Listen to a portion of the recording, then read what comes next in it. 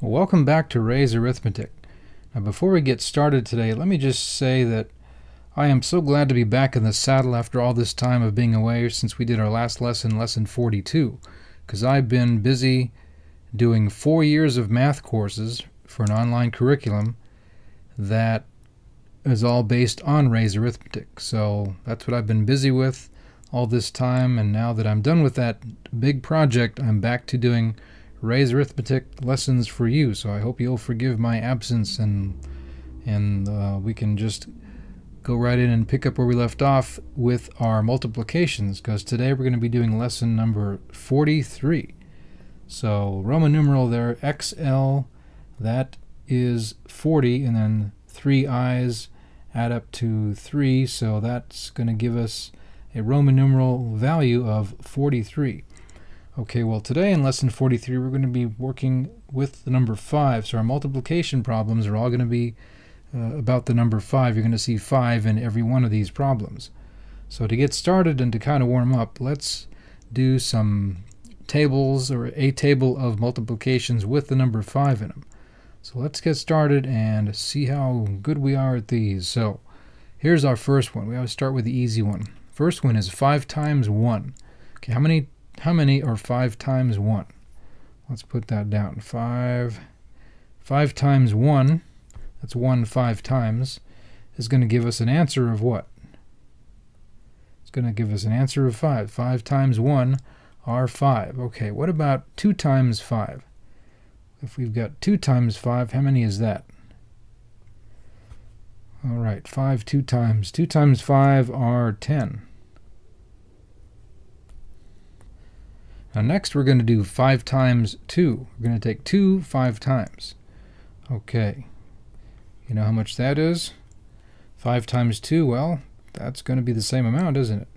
2 times 5 or 10, 5 times 2 or 10. Alright, so we get the same answer for both of those. Let's take a look at the next one, which is 3 times 5. You know how many 3 times 5 are? See, 3 times 5, that's 5 3 times. That's going to give us an answer of 15. All right, good. Let's see if you know the next one. This is going to be 5 times 3. How much do we get when we multiply 3 5 times? 5 times 3, that's going to give us 15, isn't it? Yep, you probably saw that one coming. Okay, let's see what the next one's going to be. 4 times 5. Okay, he's starting to see a pattern. 4 times 5. Okay, 4 times 5 is going to give us what? It's going to give us 20. Okay, what about 5 times 4? This time we're taking 4, multiplying it 5 times. That's going to give us an answer of what? Also 20. Okay, so 4 times 5 are 20, 5 times 4 are 20. Okay, let's continue on the other side of our board. Um, how about 5 times 5? How many are 5 times 5? 5 times 5 are 25. Okay. What about 5 times 6? How many are 5 times 6? Well, if you take 6 5 times, you get an answer of what? 30. Okay. What about 6 times 5? If we take 5 6 times, so 6 times 5, that's going to give us what? Well, that's going to give us 30. Okay. So if we just take those same two numbers, 5 and 6, and switch them around, switch the order, so the 6 comes first, we're still going to get the same product, aren't we? The same answer when we multiply 6 times 5. All right. So you see the pattern that we're seeing in the answers, right? Yeah, okay. That's what's nice about fives is you can see the patterns a little bit more easily perhaps than with some of the other numbers. Okay, let's look at, let's see, what do we want to do next? Let's try something with, hmm, we haven't done 5 and 7 yet, have we? Okay, let's do 5 times 7. So 5 times 7 are how many? That's going to be 35. Okay, what about 7 times 5? 7 times 5 it's going to give us the same answer, isn't it? Yep, okay. 7 times 5 are 35. Okay, what about 5 times 8? If we multiply 5 times 8, what do we get for an answer? We get 40. Okay, now, what do we get when we multiply 8 times 5? 5 8 times. 8 times 5, that's going to be 40 as well, isn't it? Okay. Let's do just a few more of these. Let's do 5 times 9. How many are 5 times 9? 9 5 times. That's going to give us what? 45. Okay, what about 9 times 5? Now we're taking 5, multiplying it 9 times. And that's going to give us 45. Same as 9 multiplied 5 times. Okay, let's see. What about 5 times 10? 5 times 10, that's going to give us an answer of what? 50.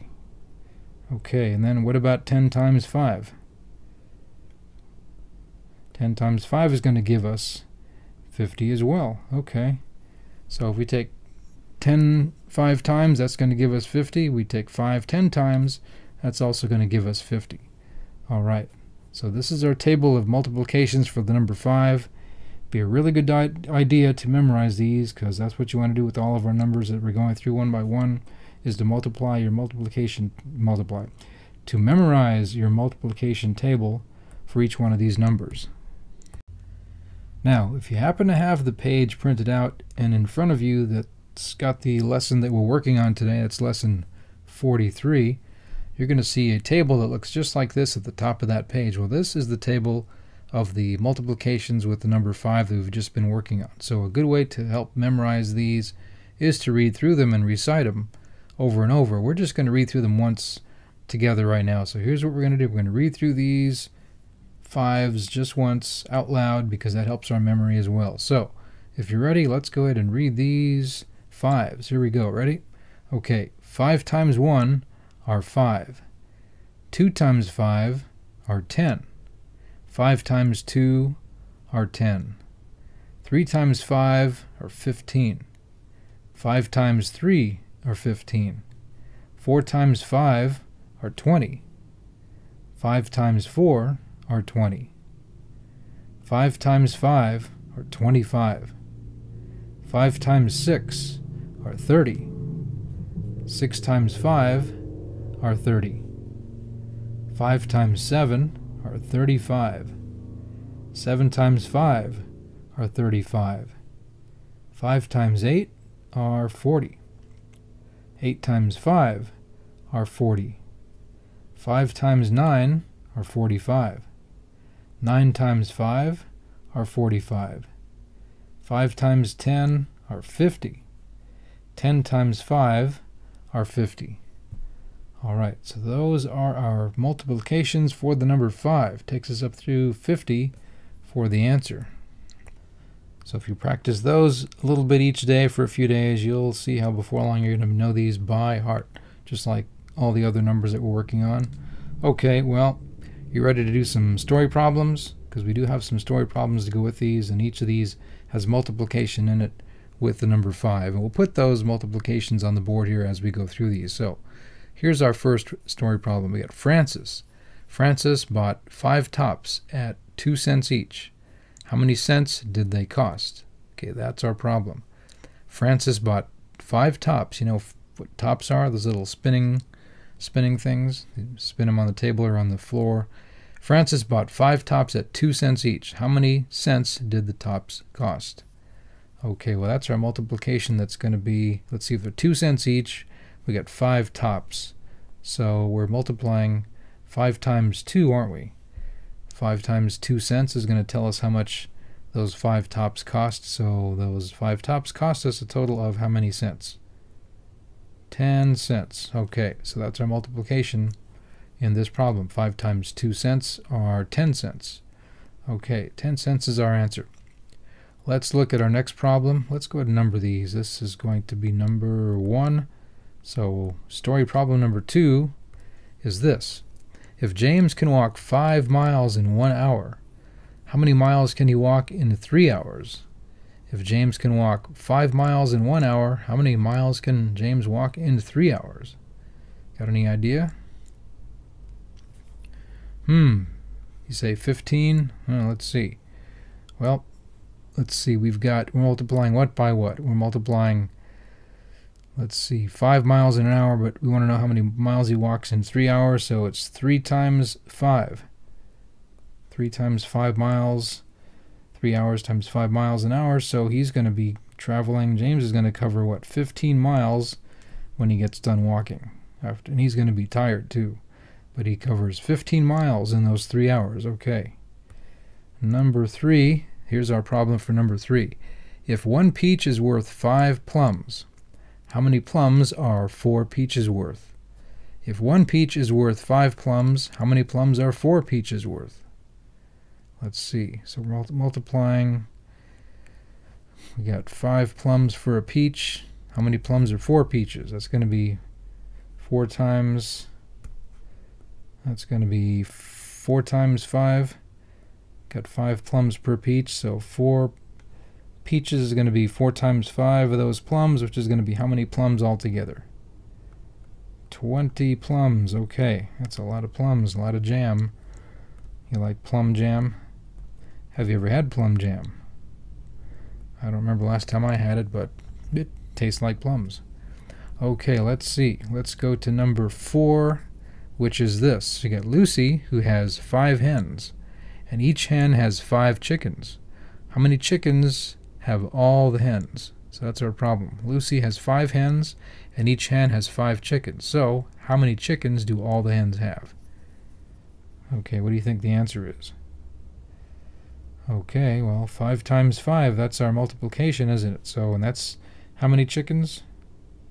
25 chickens, because 5 times 5 are 25. Okay, let's do another story problem. Okay, here we've got Francis, who finds six bird's nests, with five eggs in each bird's nest. How many eggs are there in all the nests? So Francis finds six bird's nests with five eggs in each nest. How many eggs are there in all the nests? Okay, what are we going to multiply here?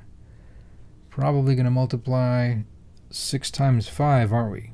Because we got 6 birds' nests, and each nest has 5 eggs in it, so that's going to be a total of how many eggs? 6 times 5 are 30. So 30 eggs altogether. Okay, hope none of them fall out of the nest and drop and break, huh? Okay. Let's see, Daniel is our next contestant, and he bought five oranges at seven cents each. So, how much did Daniel pay for all those oranges? If he bought five oranges at seven cents each, how much did he pay for all that? Okay, if there's seven cents each and five oranges, so five times seven cents, that's going to tell us how much he paid for those oranges. Okay, what is five times seven? Five times seven are 35. So the answer is that Daniel pays 35 cents for the oranges. Okay, couple more problems and we'll be done.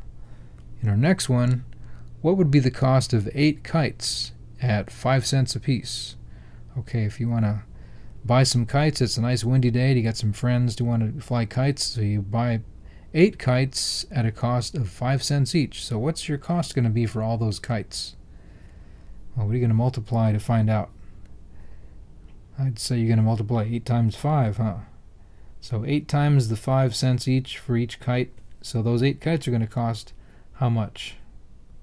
40 cents. Yeah, because 8 times 5 are 40. Okay, very good. Let's look at our next problem, number 8. If 1 pound of flour cost 5 cents, what will 9 pounds cost? If one pound of flour cost five cents, how much would nine pounds cost? What, what are you going to multiply to find out? Nine times five. Okay, how many are nine times five? Nine times five is going to be 45. That's 45 what? 45 cents. So nine pounds of flour at five cents each is going to cost 45 cents. Okay, one more problem to finish up. If one streetcar ticket cost five cents, what will 10 tickets cost? Streetcar, okay, that's one of those, eh, like a kind of like an electric bus sort of trolley car. Okay, if one of those tickets to ride that thing cost 5 cents, what will 10 tickets cost? What are you going to multiply to find out? 10 times 5. Yeah, okay, how much is 10 times 5? 10 times 5 are 50 cents. So those 10 tickets are going to cost you 50 cents.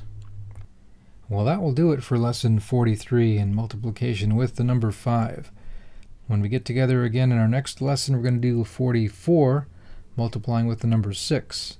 In the meantime, if you want to see about looking into a whole math course that's based on Ray's arithmetic, click on the link that's below this video on this page.